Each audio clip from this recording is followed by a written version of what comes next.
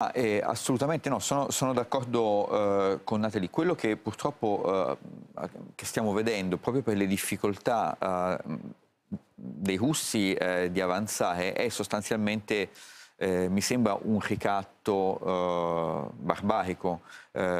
quello che i russi stanno dicendo a Zelensky è arrenditi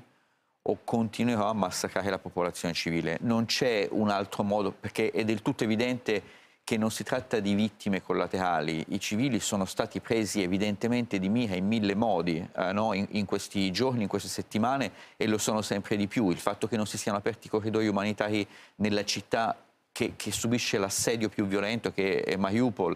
eh, sta dicendo questo, sta ponendo una fortissima pressione politica su Zelensky ed è anche un modo di porre eh, una pressione politica sugli occidentali, perché poi eh, quando ci sarà un, un tavolo, no, eh, questo riguarda di, di, trattative più vero, questo riguarderà anche noi. E, e poi diciamo, penso che sul Corriere l'abbiamo scritto già da una decina di giorni, ma è sempre più evidente, con una media di eh, 160.000 persone al giorno che escono, che vanno nell'Unione Europea e che devo dire sono eh, in gran parte nei paesi che non volevano la ridistribuzione dei, dei rifugiati, cioè la Polonia, l'Ungheria principalmente,